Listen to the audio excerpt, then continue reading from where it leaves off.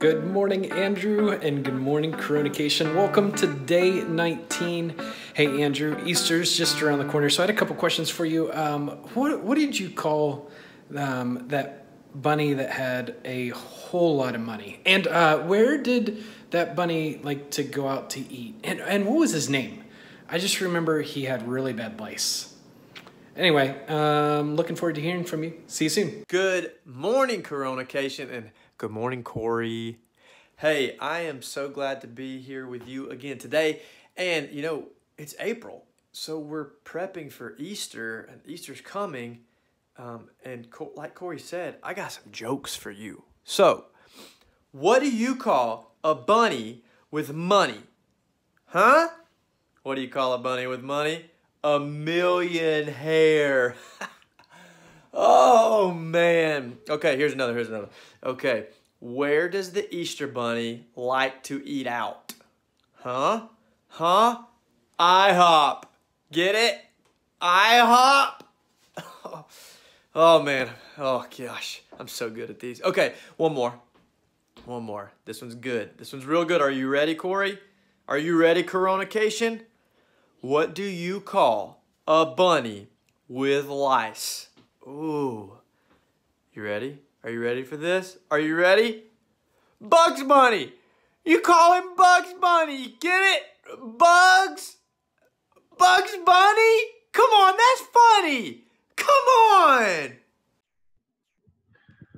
Well, hey there, Coronacation. I hope everybody's uh, doing well, staying safe inside your your home. Hope your family is doing well, and uh, I miss seeing all your smiling faces, um, and and even some that are frowning.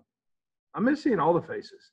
The faces are good, and uh, and right now um, I'm I'm only seeing a couple of faces uh, every day, so I'm really excited uh, that I get a chance to to chat with you for just a second.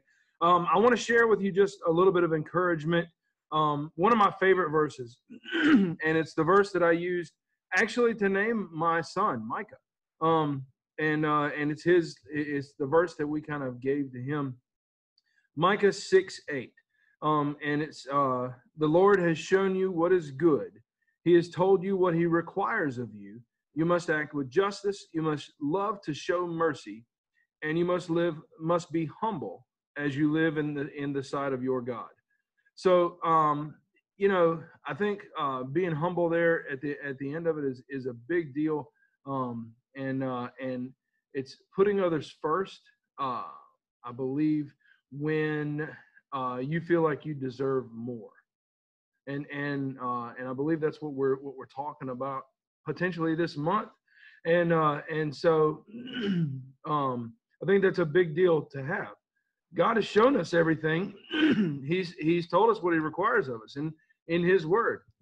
Um, we we're supposed to to uh, act with justice. We're supposed to show mercy to others, um, which we're doing by staying home, and uh, and and then uh, we must be humble and put others first, even though we deserve more. So uh, uh, I hope that encourages you today. I hope everybody's staying safe and um, not bouncing off the walls. I, I certainly am. I'm bouncing all the time. Um, but uh, I can't wait to see everybody um, back at uh, at Southern Hills. And um, and uh, thanks for for listening to me. Yeah, for just a little bit today. I'll see you later. How did Darth Vader know Luke's Christmas gifts? He felt his presence. Hey guys, it's me again, sitting here with my son Liam. This weekend, we get to read all about Jesus uh, praying before he was arrested in the garden. Um, so, me and Liam are ready. Grab your Bible, and uh, yep, he's got his. Grab your Bible, turn to Matthew 26 36, and we're going to dive in and see what this story is all about. See you on the other side, guys. The Bible. It's 66 books of history, stories, letters, and poetry that fit together to form God's one big story. The epic adventure of how He created us and loves us so much that He made a way to rescue us. As we travel through the Bible, from Genesis to Revelation, we discover people who met God and found their lives changed forever. And now for an amazing story inspired by the book of Matthew, chapter 26, verses 36 through 56. For months, the Jewish religious leaders had been plotting to silence Jesus. He called us pretenders, snakes. On the Sunday before Passover, Jesus entered Jerusalem to great cheers from the crowds. Blessed, is the one who comes in the name of the Lord. But even as the crowd swarmed in to see what Jesus would do and say, one of Jesus' closest followers, Judas, went to the religious leaders with a very sneaky plan. What are you willing to give me if I deliver him over to you? How about a cool 30 pieces of silver? Jesus knew these plans, but he also knew that his mission was to face those who hated him and let them take him without defending himself. He prepared his closest friends for this during a Passover meal and then afterwards led them out of the city toward the Mount of Olives. Judas had already left them. In a little while, you will no longer see me. Then, after a little while, you will see me. I came from the Father and entered the world. Now I am leaving the world and going back to the Father. The air cooled as the evening darkened. This very night, you will all turn away because of me. Peter, the most outspoken of Jesus' friends, quickened his step and tightened his hand on the sword he was carrying. All the others may turn away because of you, but I never will. What I'm about to tell you is true. It will happen tonight. Before the rooster crows, you will say three times that you don't know me. I may have to die with you, but I will never say I don't know you. Me too. Same. By the time Jesus and his friends reached the Garden of Gethsemane, they were exhausted. Sit here while I go over there and pray. As the other disciples settled in on the cold, rough ground, Jesus took Peter, James, and John along with him to a grove of ancient olive trees. The weight of what was coming pressed down on him. My soul is very sad. I feel close to death. Stay here. Keep watch with me. We're here for you. We got this. Prayers. The three friends found seats among the knotted tree roots, and Jesus went on a little further. Then suddenly, he fell down on the ground, face first into the dirt. Words poured out from deep inside. My Father, if it is possible, take this cup of suffering away from me. But let what you want be done, not what I want. After a short time, Jesus returned to his friends. They had all fallen into restless sleep. Jesus touched Peter's arm.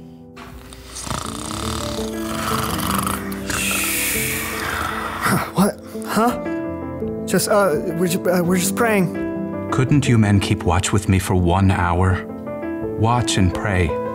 Then you won't fall into sin when you are tempted. The spirit is willing, but the body is weak. We'll stay awake this time. Got you covered. Again, Jesus threw himself down to pray. His pain was so deep, blood and sweat beaded on his forehead. My Father, is it possible for this cup to be taken away? But if I must drink it, may what you want be done. Jesus returned to his friends once more to find them still sleeping. The agony in his spirit forced Jesus to lay his heart out to God once more. He prayed the desperate words again, begging God to take away what was coming, and at the same time, revealing his complete trust in God's plan. Let what you want be done, not what I want. At last, Jesus knew the time had come. He returned to find Peter, James, and John buried deep in sleep. Beyond them, his other followers slept too. Are you still sleeping and resting? The disciples struggled through a fog of sleep, blinking and yawning.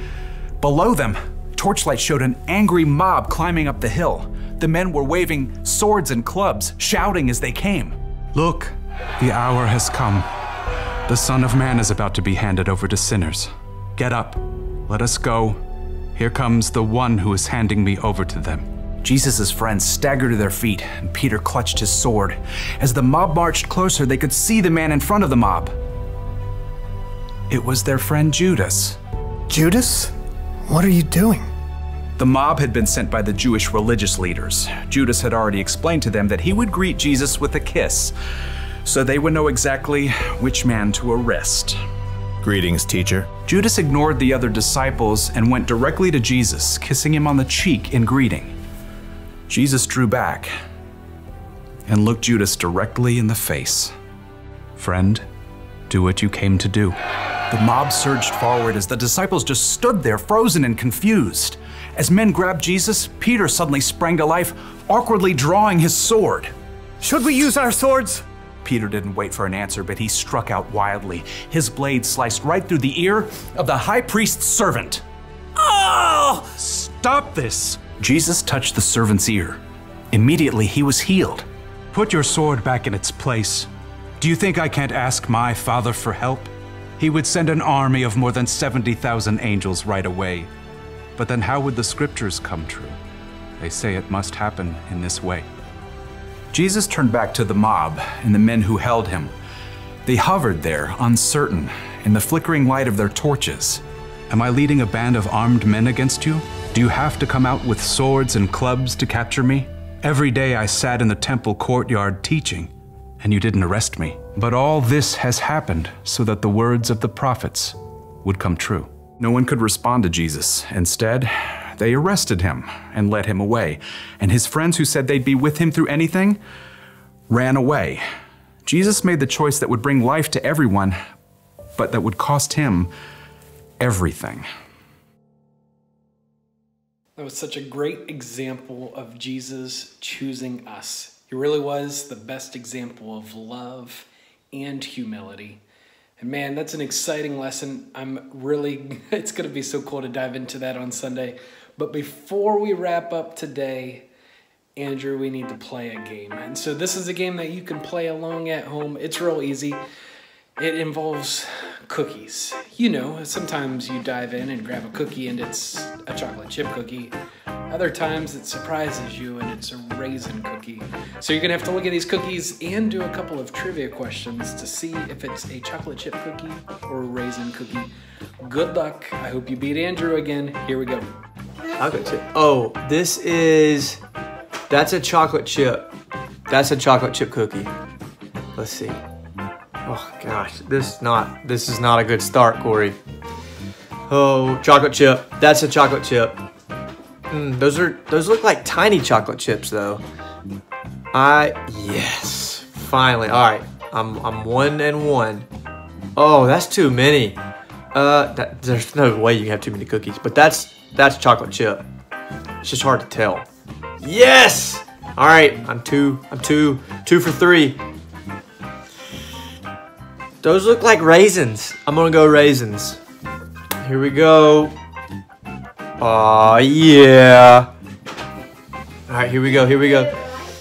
Let's see, let's see. That looks like a batch of chocolate chip cookies. Chocolate chip. Chocolate. It was.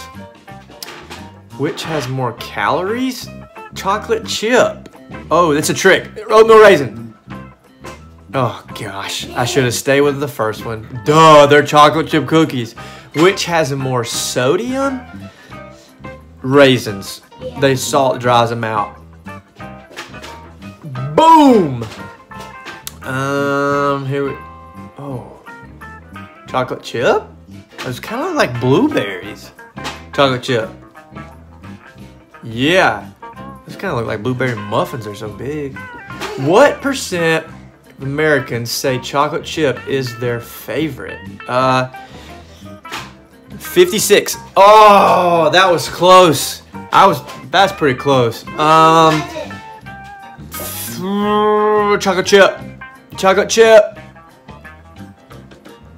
Oatmeal raisin. I said raisin. Chocolate chip or oatmeal raisin. Okay, that's it. How'd you guys do?